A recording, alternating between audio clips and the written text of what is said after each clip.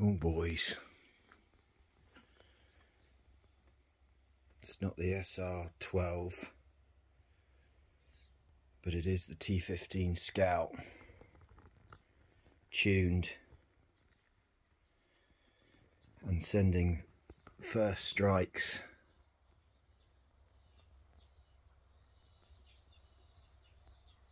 into that little square and that 8 inch round steel plate at 45 yards. Hit on hit on hit.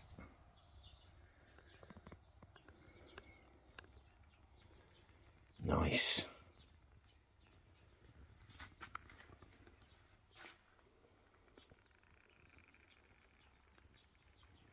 Pleased with how the paint came out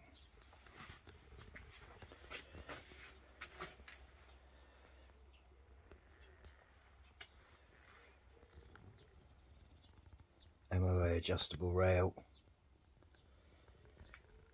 vector optics, scope, one shot, one kill baby.